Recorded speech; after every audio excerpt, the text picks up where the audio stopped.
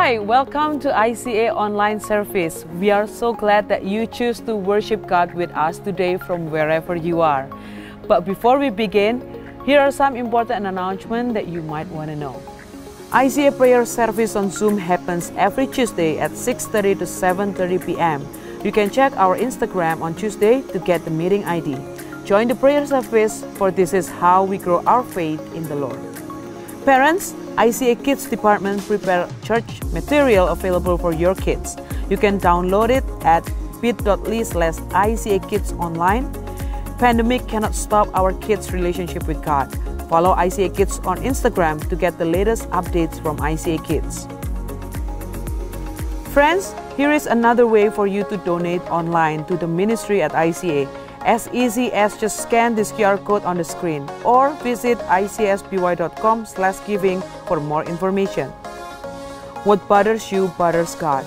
Let's bring it before Him through prayer. ICA Pastor will be praying for you.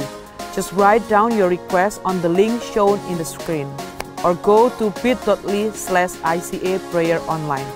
We will pray together with you. Remember to follow ICA on social media on Spotify, YouTube, Instagram, Facebook if you haven't. Our team uploaded important information, playlists, devotion, and more interesting content and updates for you. Physical distancing is not spiritual distancing. Next week is Communion Sunday. We invite all of you to participate. So prepare your communion items at home, any bread or crackers, and fruit juices. Let's honor God and do communion together from wherever you are. All right, those are the informations for today, and I pray that the presence of God will go beyond every screen. Now let's worship God together.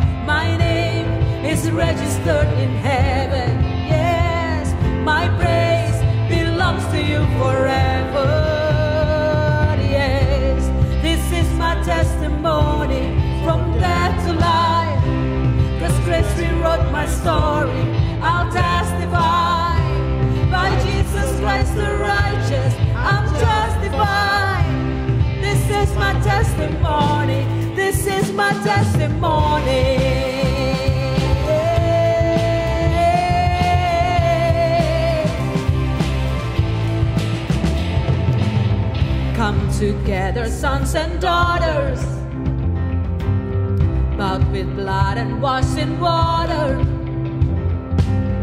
Sing the praises of the Spirit, Son, and Father.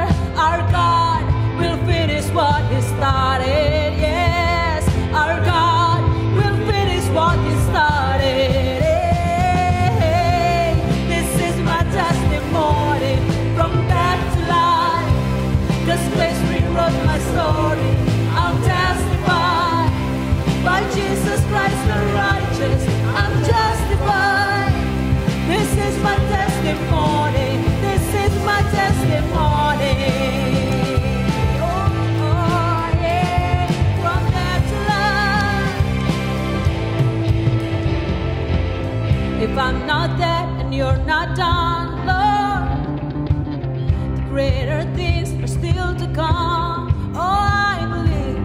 If I'm not dead and you're not done, greater things are still to come. Oh, I believe if I'm not dead and you're not done, Lord, greater things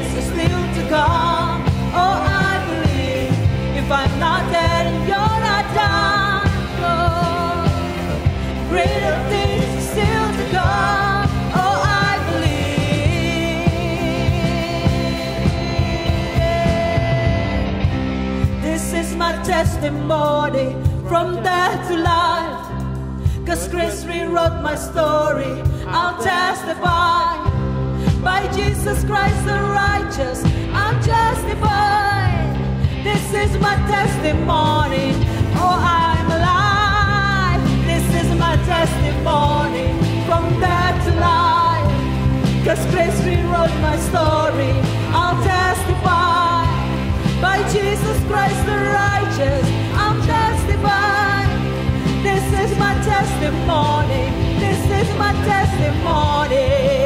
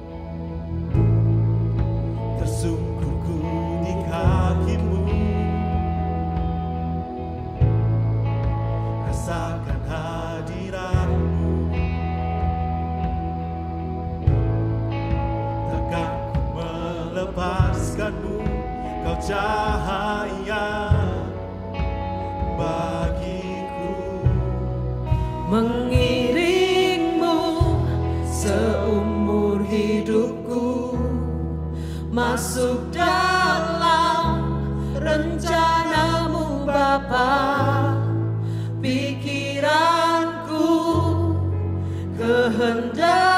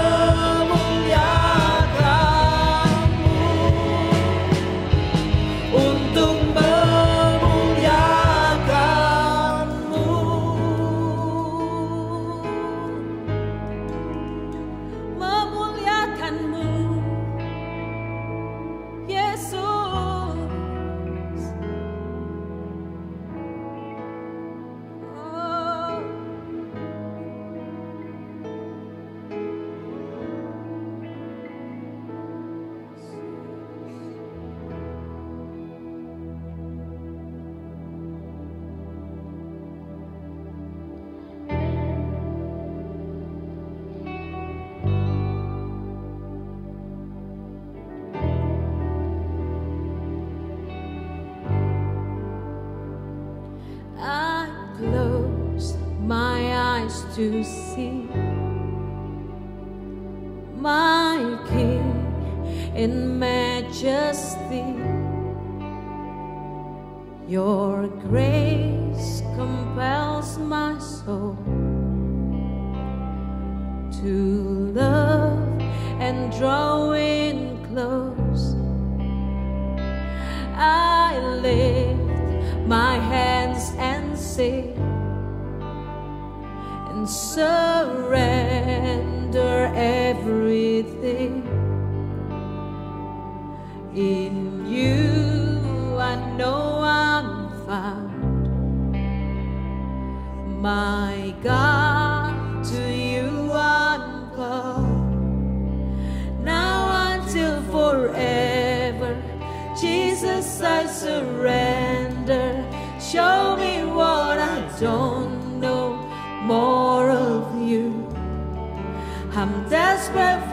your presence, longing to be with you.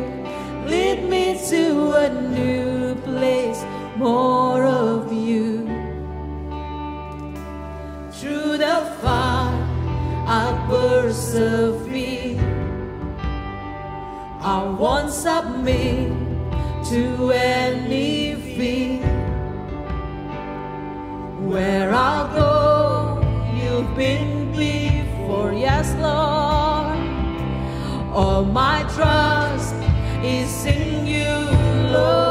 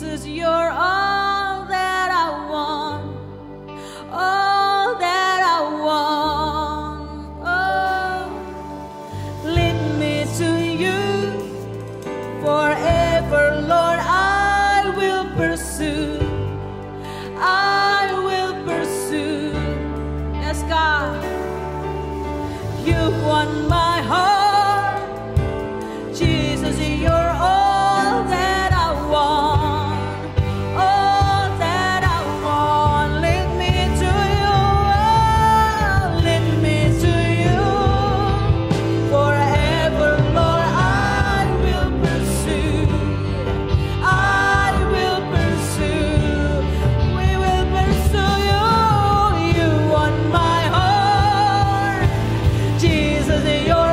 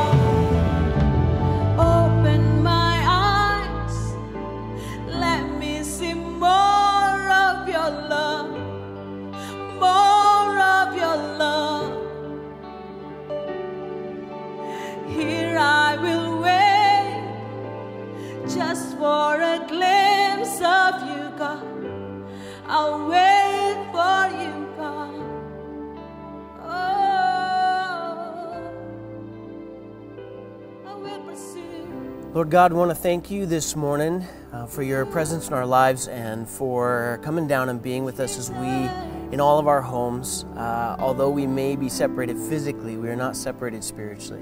And being able to worship uh, together and to be able to seek you together, God, we thank you for this gift. And I just pray, Lord, right now, as we begin to dive into your word, that your spirit would reach out to every home and everyone who's listening today, and that your presence and your blessing uh, would be on their lives. In Jesus' name, amen.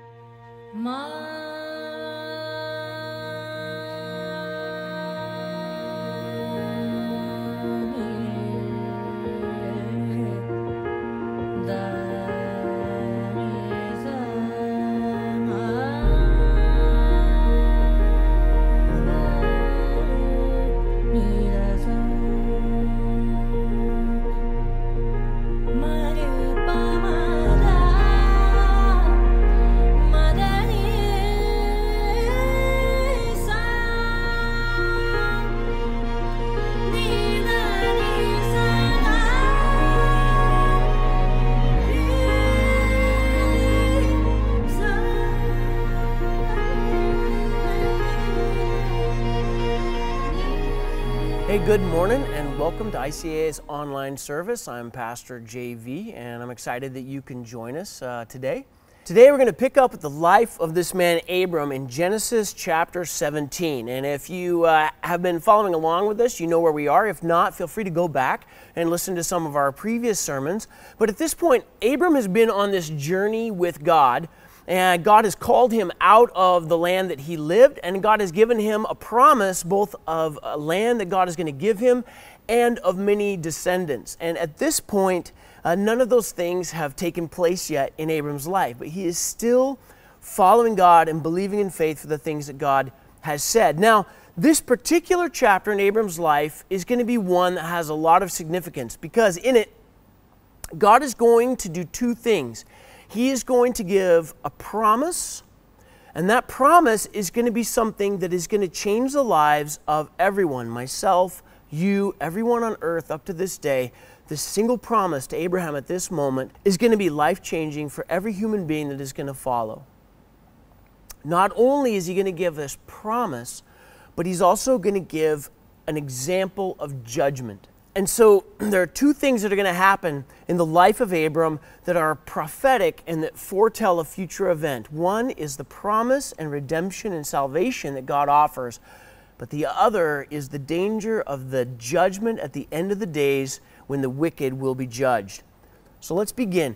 Genesis 17, chapter 1, it says, When Abram was 99 years old, now remember, God has been promising him he's going to have a son for a long time, and now he is 99. And so this promise does not look like it's going to happen.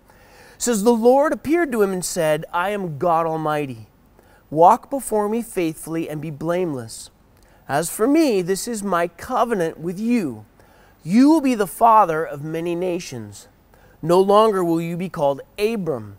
Your name will be Abraham, for I have made you a father of many nations. So the first thing that God does at this point is he's going to give Abram a new name that reflects the promise that God is giving him.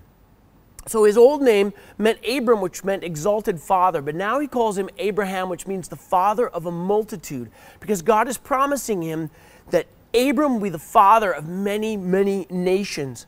In fact, he gives a promise, a similar promise, and a similar name change to Abram's wife, Sarai. In Genesis 17, 15, and 16, it says, God also said to Abram, As for Sarai, your wife, you are no longer to call her Sarai.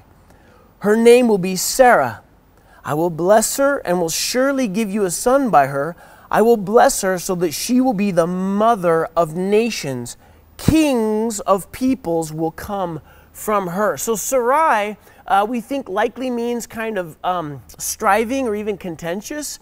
Uh, but Sarah comes from this root word sar, which meant a prince or a nobleman. So Sarah would be princess. And this name also correlates with the promise that God is giving to her because he calls her something royal because kings are going to come from her. Now, this uh, is a promise that both Abram and Sarah laugh about uh, because Sarah's like 90 years old and Abram is 99. And so, in, in the natural world, this just doesn't seem like something that can happen. And so, God encourages them to still trust in Him. And at this point, uh, Abram laughs. Um, later on, Sarah's going to laugh. And so, the son that God is promising, He says, You will name Isaac because it means he laughs. So, it's God who's going to have the last laugh in this family's life. Now, this renaming of Abram and Sarah is an interesting thing because we see this happen a lot in Scripture where God will come into a person's life and give them a new name that reflects the destiny and the purpose and the plan that God has for that individual. Even though that person hasn't lived up to it yet, God will begin to give them a name that shows what God is going to do with them. Abraham, every time he heard his name, would remember that promise from God. Sarah, every time she heard her new name, would remember that promise from God. We see in the New Testament that Jesus gave names to his disciples as well. He called Simon, he renamed Peter, which meant a rock, something that was solid.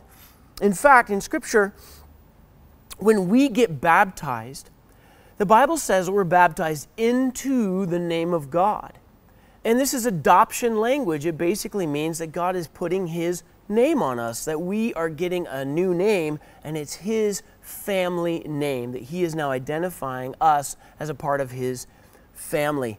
And in Revelation, we see this carried forward as well. In Revelation chapter 2, verse 17, it says, Whoever has ears, let them hear what the Spirit says to the churches. To the one who is victorious, I will give some of the hidden manna. I will also give that person a white stone with a new name written on it known only to the one who receives it. In Revelations 3:12 it says, "The one who is victorious, I will make a pillar in the temple of my God. Never will they leave it, and I will write on them the name of my God, the name of the city of my God, the new Jerusalem which is coming down from heaven, and I will also write on them my new name."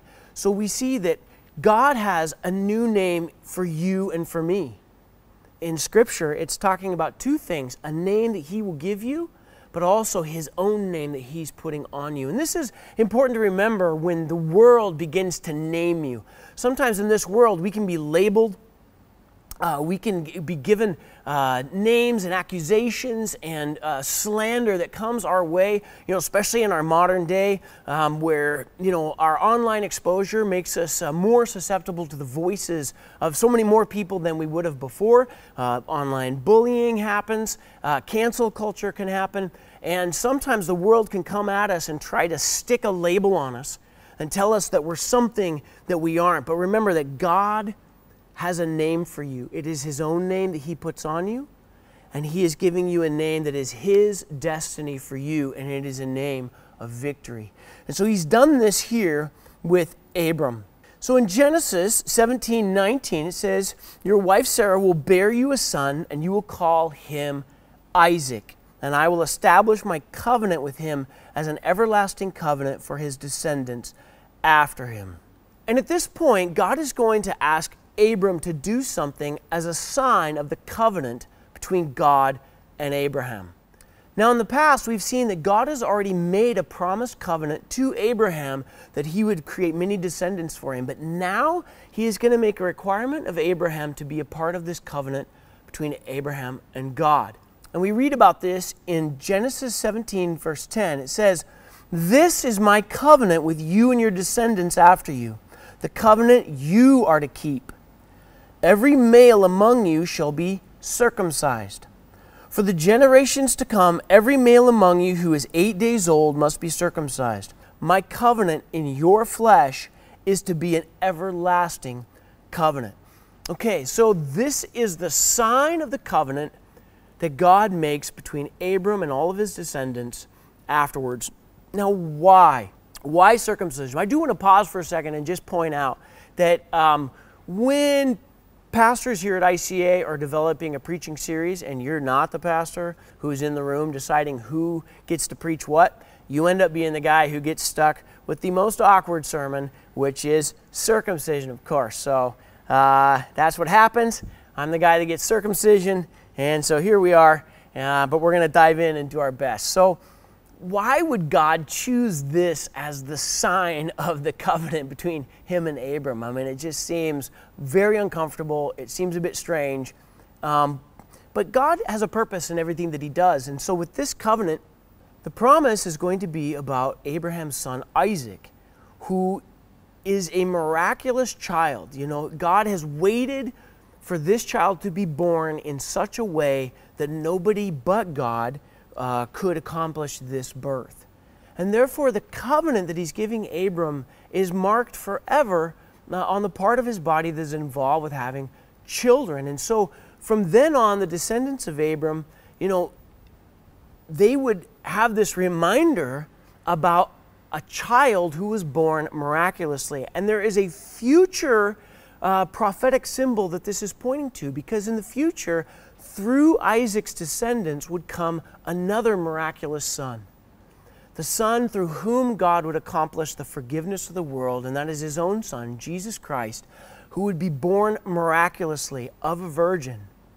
And so, all the way back here in the life of Abram, we are seeing a sign that is pointing ahead to this miraculous birth that God says through Abraham's descendant, all nations will be blessed. The other thing about this particular covenant is that it is a covenant in blood, just as Jesus Christ will have to shed his own blood in order to bring about the covenant between us and God for the forgiveness of sins. Uh, it says that it was to be done on the eighth day. And this is also interesting because uh, the eighth day of a week, you know, the Jewish week started on a Sunday. And so the seventh day would be a Saturday, and the eighth day would then be a Sunday again. And a Sunday is the day that Jesus rose from the dead to fulfill this covenant for us between us and God. That he died a bloody death, but then he rose again in order to bring about this forgiveness. And so and this covenant is something that would be personal and private and seen between God and the person who was circumcised. And so it's not something that could really be seen outward. And this is also something about our covenant between us and God, that it is a matter of the heart. It is God who knows the purity of our heart or the secret of our heart and whether or not we have, as Scripture says, circumcised our hearts to Him, whether we have cut off from ourselves sin and wickedness and the passions that come with our physical bodies in order to be able to pursue Christ. And so that is why, although it seems like a strange way to do a covenant, it actually has a lot of meaning. So I do want to point out that it is not just Abraham who has faith here, uh, but it is all the men of his household. His son Ishmael, at this stage, would have been a young teen. And you can imagine if your 100 year old father comes up to you, uh, you know, with the kitchen knife and says, Hey, the Lord told me to do something. And, you know, he's got this uh, flint knife there. Uh, you also have to be a real man of faith to go up because I'm not sure that Abraham's hands were that steady at 100 years old. So, uh, you know, I, I, I, am not sure that I'd be first in line. How's that? But uh, so the rest of them were also great men of faith. It's also interesting that it is happening just before Isaac is going to be born. That God has now sanctified, if you will, the body of Abraham and the, the very parts of his body involved in having this miraculous child are now dedicated to God. So, as we continue in Genesis 18, we move now to a story where the Lord shows up again to the house of Abraham and he's going to give him a promise that a year from this point, this birth will finally take place. Up to this point, Abraham has never had an actual solid date. Now God is going to give him a date, but something else is going to take place. So in Genesis 18:1 it says, "The Lord appeared to Abraham near the great trees of Mamre, while he was sitting at the entrance to his tent in the heat of the day. Abraham looked up and saw three men standing nearby." And when he saw them, he hurried from the entrance of his tent to meet them and bowed low to the ground. And so Abraham sees these men and he asks them to stay. And he goes and he's hospitable, so he decides to put some lunch on for them, which is actually way more complicated uh, for Abraham than it would be for us, you know. Uh, if I was making somebody a sandwich, I'd just go to the fridge and grab some meat and some bread. But Abraham actually has to go get a lamb and kill it and do all this stuff. So these so the Lord and these two angels wait. And then they sit and they eat together. And this is an interesting thing the idea of God sitting there in physical form and talking to Abraham. And um, this is one of those things in Scripture that is a bit of a, um, a mystery because, on the one hand, Scripture says no one has ever seen God, that God dwells in unapproachable light. And yet we have many occasions where the Scripture talks about God appearing in a form that can be seen by people. So, how do both of those take place? And the way theologians look at this is that this, whenever it shows God in the Old Testament in a physical form, in a form that can be related to by people, this is a what we call a pre-incarnate uh, representation of Christ. This is Jesus showing himself in the Old Testament as the angel of the Lord or the very representation of God. He is that by which God makes himself known to us. He, uh, it is encapsulated in a physical form so that we can relate to that which is unrelatable. And so when you see uh, the angel of the Lord or people seeing the Lord, what you're seeing in the Old Testament is Christ before he has come in human flesh. And so Abraham shows hospitality towards God. God repeats this promise. He says, This time next in a year, going to come back. Sarah's going to have a child. Sarah laughs. God says, Why are you laughing? Uh, I'm going to do this, and your kid is going to be named. He laughs just because everybody's laughing at me, uh, but you're going to see I'm going to have the last laugh. And so then in Genesis 18 16, it says, When the men got up to leave, they looked down towards Sodom. Now, Sodom was a city that would have been down in a valley nearby um, Abram, he, it would have been a place where he could see from the oaks of Mamre up on the mountainside where he was. And it says they looked down toward Sodom, and Abram walked along with them to see them on their way. Then the Lord said, Shall I hide from Abraham what I am about to do? Verse 20. Then the Lord said, The outcry against Sodom and Gomorrah is so great and their sin is so grievous that I will go down and see if what they have done is as bad as the outcry that has reached me. If not, I will know. The men turned away and they went toward Sodom, but Abraham remained standing before the Lord. God begins to speak about these cities that dwell down in the plain. Uh, Sodom and Gomorrah were the two main cities. There were several others, however, that were in this valley. And we read first about this valley in Genesis 14 and, and or sorry, 13 and 14. If you'll remember, um, Abram had a nephew named Lot, and you know when they decided to part ways because their herds were getting too big, there was competition.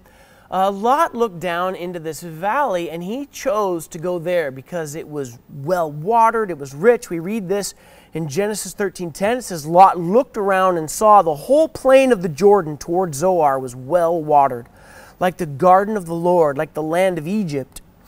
This was before the Lord destroyed Sodom and Gomorrah. Now the Bible says that the cities of Sodom and Gomorrah were well known for their wickedness. Uh, we first saw them in Genesis 13 where it says the people of Sodom were wicked and were sinning greatly against the Lord. Uh, the prophet Ezekiel speaks about Sodom and talks about what their sin was like. It says in Ezekiel 16:49 it says this was the sin of your sister Sodom.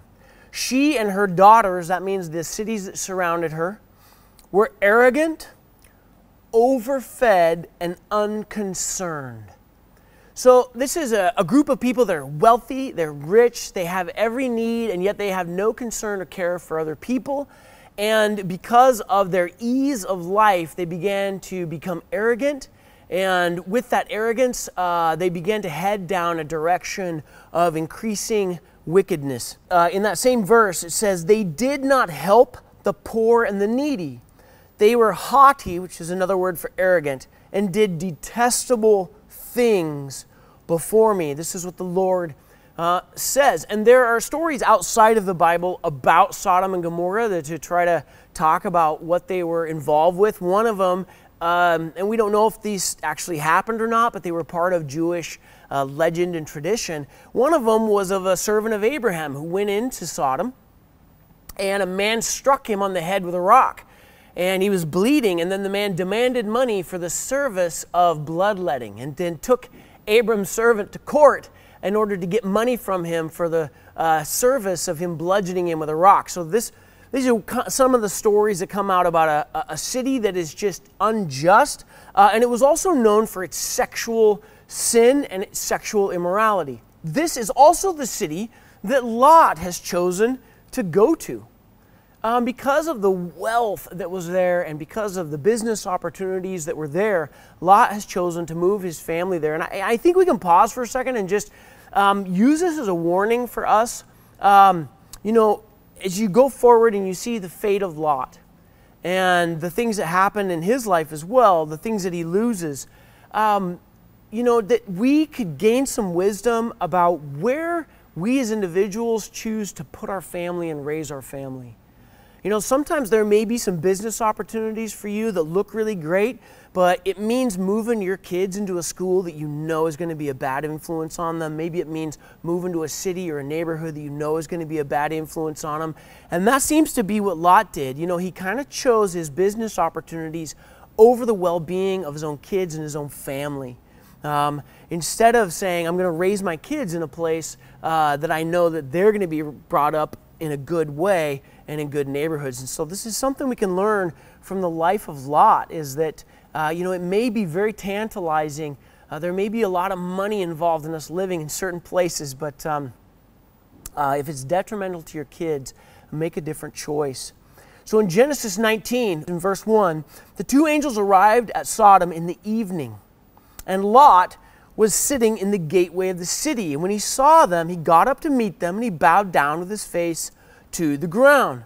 Verse 2, it says, My lords, he said, please turn aside to your servant's house. You can wash your feet and spend the night, and then go your own way early in the morning. No, they answered, uh, we will spend the night in the square. There would always be a public square in a city, and many people who are travelers um, would just basically camp in the public square before they would move on for the next day. And so these angels, who Lot doesn't know are angels, he thinks they're just men, uh, say, no, no, we'll just stay in the public square. Now, Lot knows what kind of city he's living in and that this is not a good idea, that this is not a safe place. You know, he's like, this is Los Angeles in the 1980s. Uh, you do not uh, want to be sleeping in the public square. So he says to them, he ins- verse 3, he insisted so strongly that they did go with him and they entered his house. He prepared a meal for them, baking bread without yeast, and they ate before they had gone to bed, all the men from every part of the city of Sodom, both young and old, surrounded the house.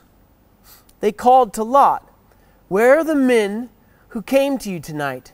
Bring them out to us so that we can have sex with them. So we need to let this sink in here is that men have come into this city, and this city is so wicked that every male in the city has now gathered around this house so that they can rape these uh, visitors.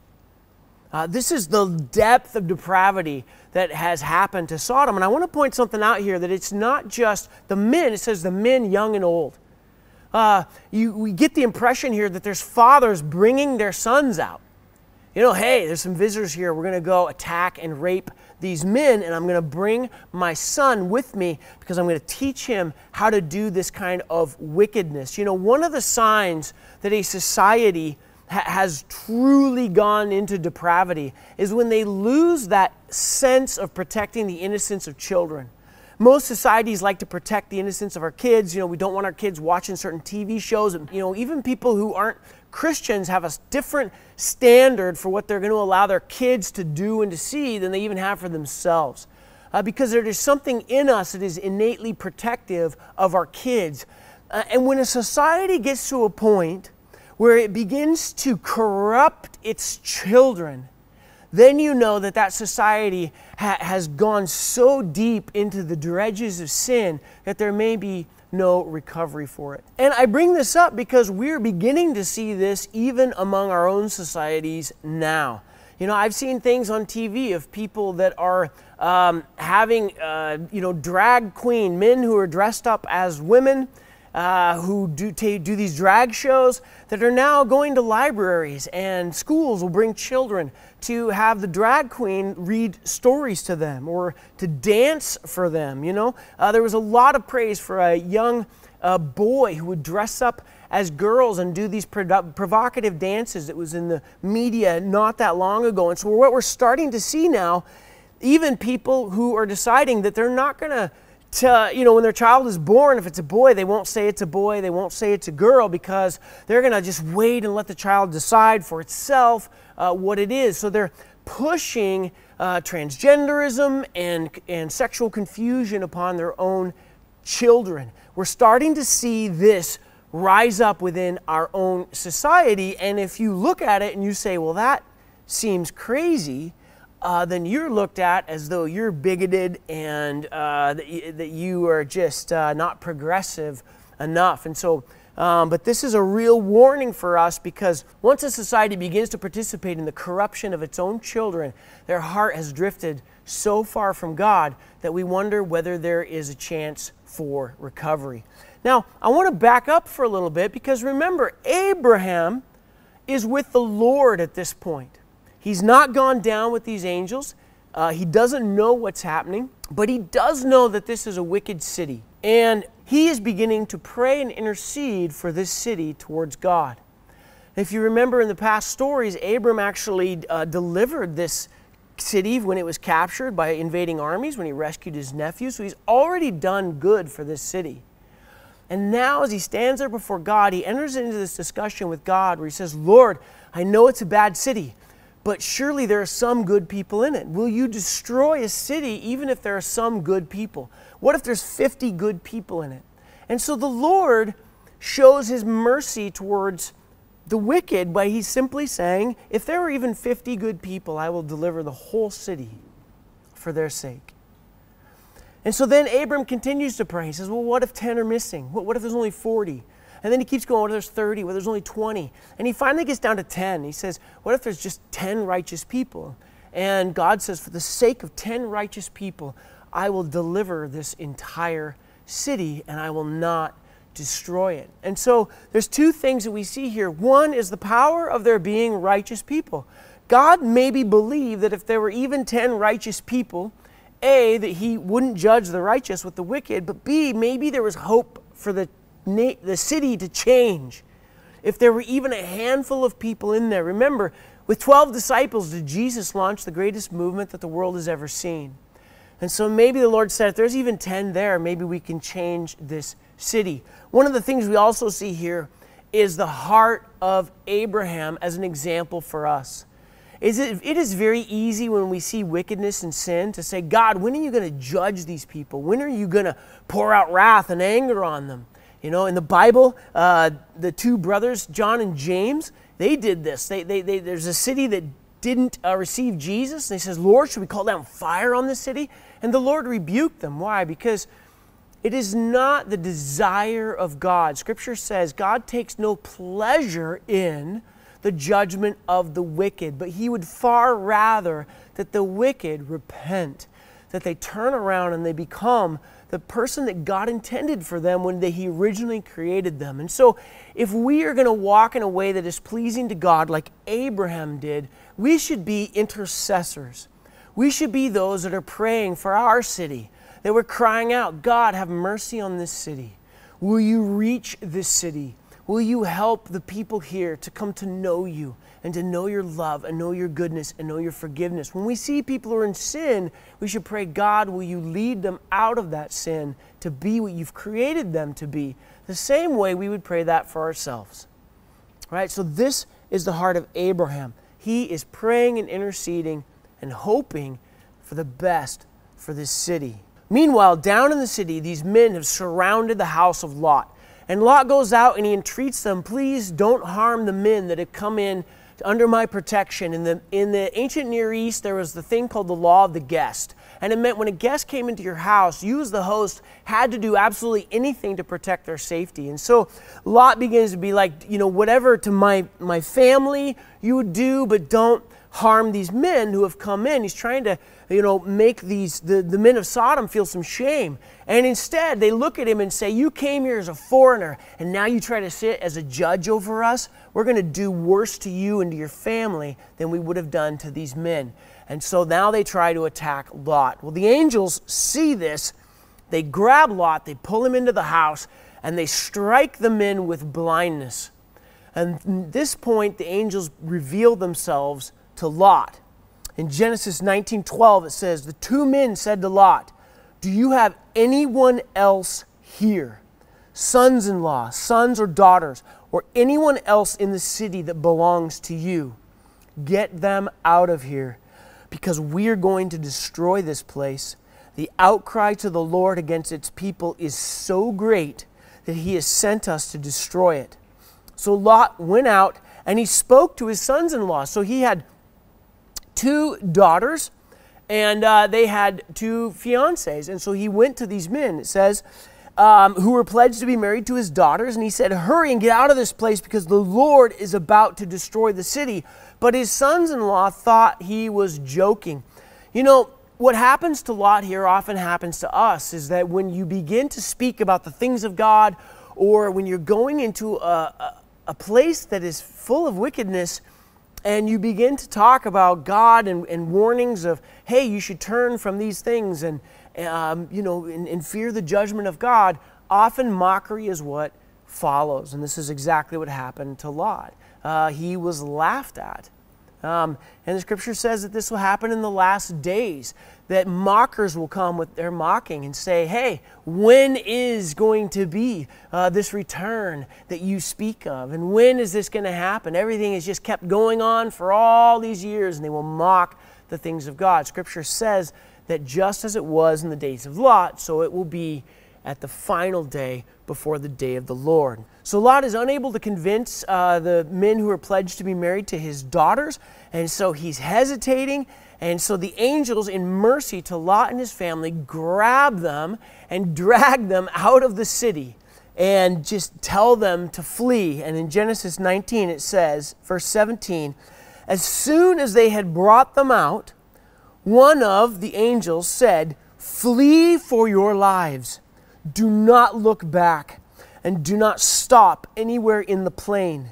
Flee to the mountains or you will be swept away. So Lot and his family uh, flee and they get to a place called Zoar. In verse 23, it says, By the time Lot had reached Zoar, the sun had risen over the land. Then the Lord rained down burning sulfur on Sodom and Gomorrah from the Lord out of the heavens. Thus he overthrew those cities and the entire plain, destroying all those living in the cities and also all the vegetation of the land.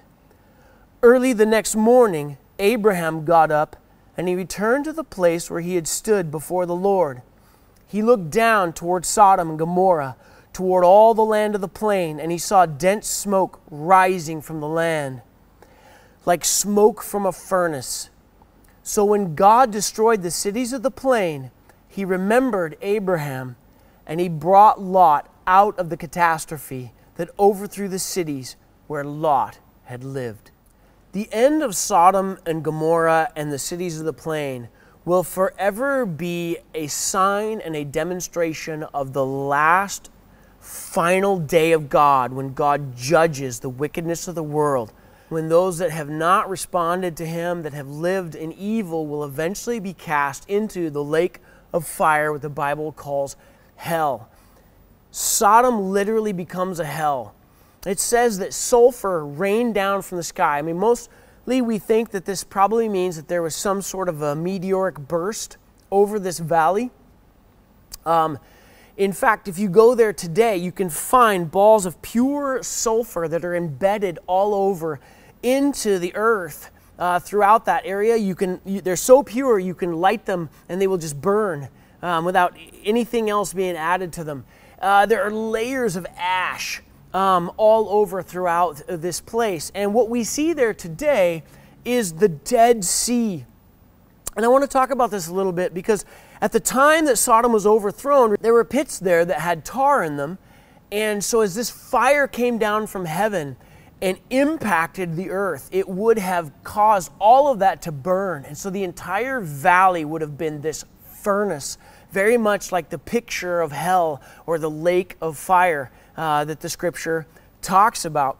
In the New Testament, there's a valley called Gehenna, which is the Greek word that we, they use for hell.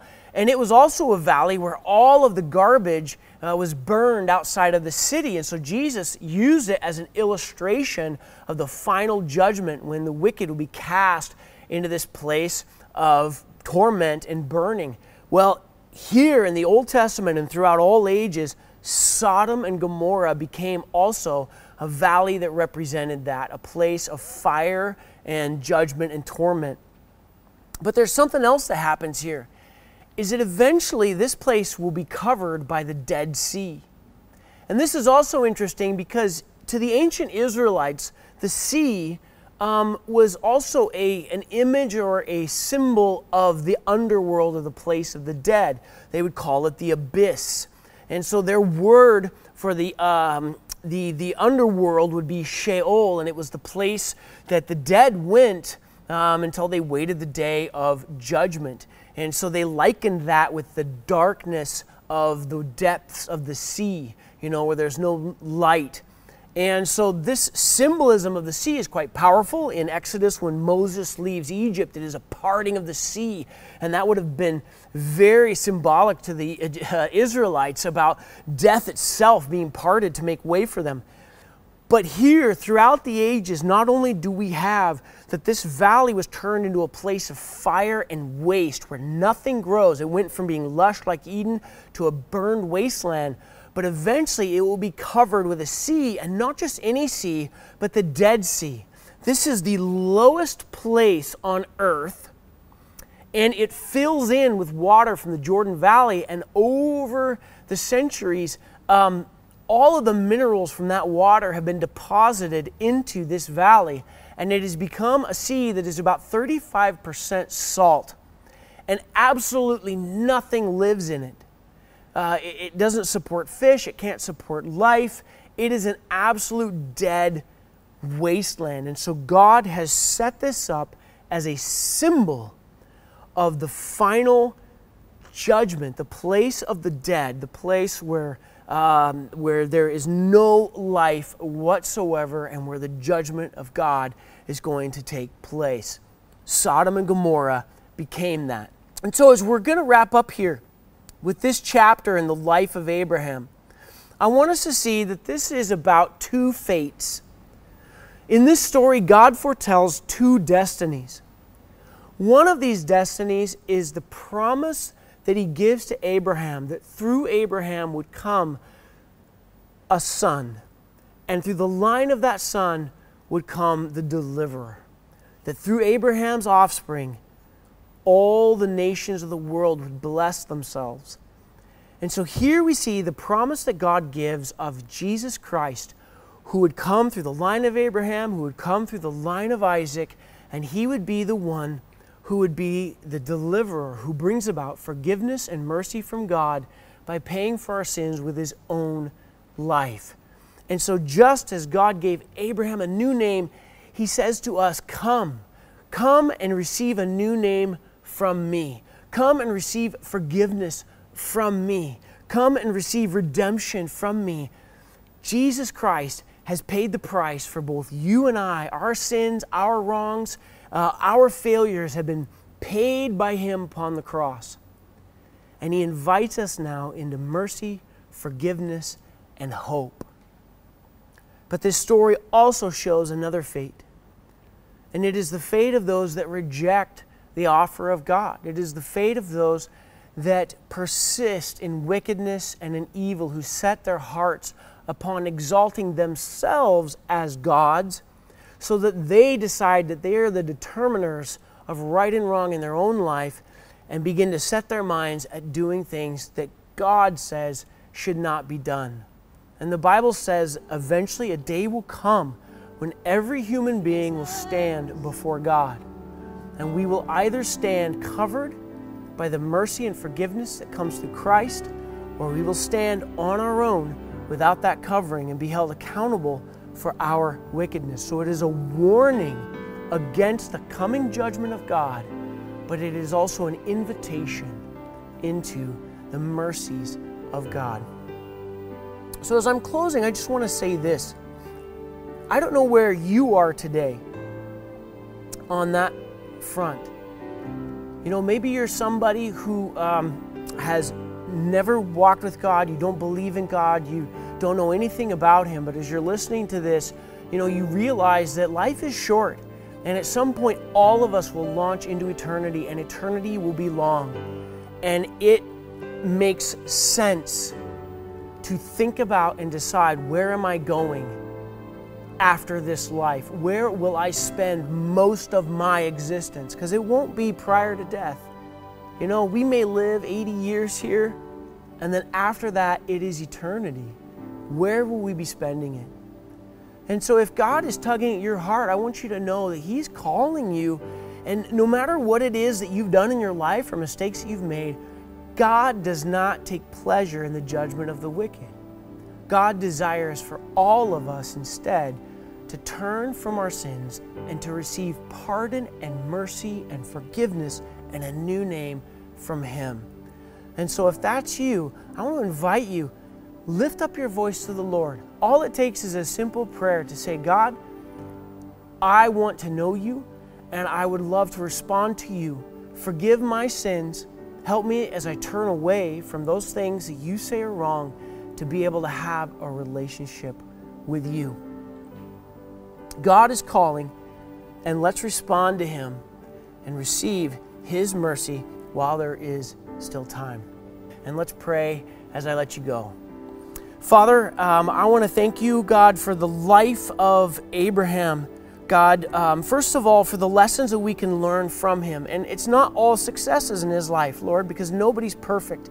Sometimes there are failures and sometimes there are successes, and we learn from both of those things out of the life of Abraham. But what we see in him is a man who strives to be faithful and strives to follow and obey you. And we see that as he does that, God, that you have a destiny and a purpose for him. And that as you lead him, even when he doesn't know where you're taking him, God, you are faithful to bring about your purposes in his life. Just as today, Lord, you are faithful to bring about your purposes in our lives. And as you gave him a new name, Lord, you give us a new name. And so we give thanks to you for your grace and your redemption. Lord, today I want to pray for your blessing to be on everyone who is listening. Uh, just that your favor would be in all of our families, that you would keep them healthy, you would keep them strong, and you would just bless them, Lord, um, in their homes and throughout this week. We ask this, Father, in Jesus' name. Amen. God bless you guys. Thank you so much. Uh, next week, we're going to be diving in further into the life of this man, Abraham, so don't miss out. God bless. Thank you.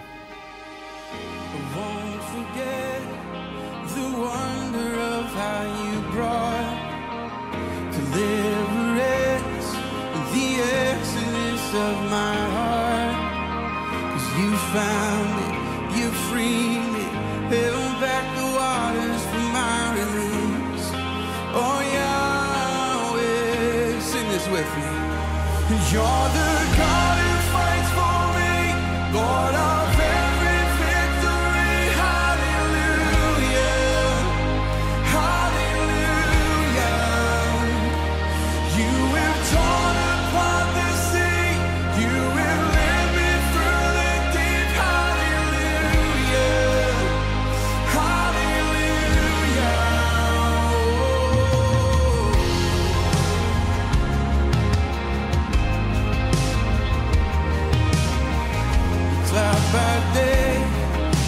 sign that you are with me. if I by night.